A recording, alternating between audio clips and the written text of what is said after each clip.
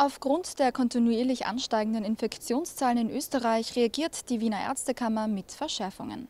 Ab sofort ist das Betreten der Räumlichkeiten der Wiener Ärztekammer nur noch mit der 1G-Regel gestattet. Sprich, all jene Personen, die voll immunisiert sind, also beide Impfungen Intus haben, bei Johnson Johnson ist nur ein Stich notwendig, oder auch all jene Personen, die genesen sind und eine Teilimpfung Intus haben. Eine Ausnahme gilt für Ärztinnen und Ärzte sowie deren Rechtsvertreter. Für die gilt nach wie vor die 3G-Regelung. Das heißt, sie müssen getestet, geimpft oder genesen sein. Zudem gilt am Eingang eine Registrierungspflicht. Die unternimmt beispielsweise ein Mitarbeiter Mitarbeiter einer Security-Firma. Der kontrolliert dann den Personalausweis, den äh, Reisepass sowie auch den Impfnachweis.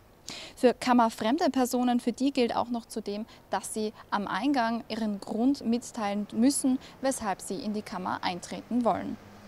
In allen öffentlich zugänglichen Räumlichkeiten, wie beispielsweise im Stiegenhaus, in Sozialräumen, im Veranstaltungszentrum, in den Gängen etc., da besteht für alle Besucherinnen und Besucher des Hauses eine FFP2-Maskenpflicht.